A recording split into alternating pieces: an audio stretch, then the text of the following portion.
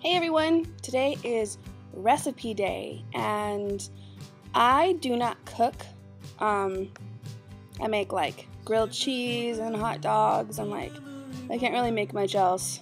Uh, but I do love to bake. So I thought that today I would bake some chocolate chip peanut butter marshmallow cookies.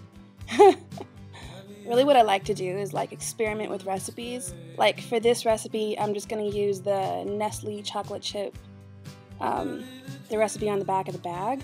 And then I just like to play around with flavors and textures and kind of see which flavors go together, which add to, which take away. Last time I made this, I used butterscotch and then coconut, and it turned out really, really good. This time I thought that I'd try something different, so we'll see if it works.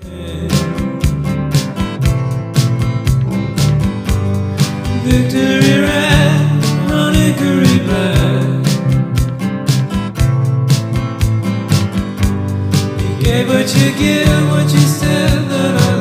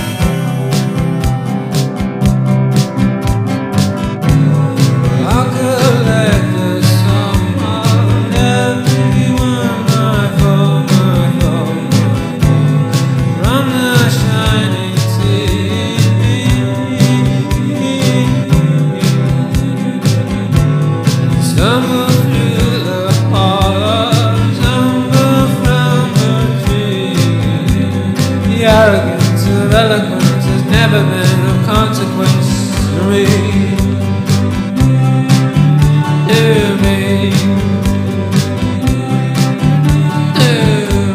Don't add too many marshmallows and try to add them to the top of the batter. Otherwise, the cookies will break up um, or they'll stick to the pan. Tell me if you tried this recipe and how it turns out. See you next week.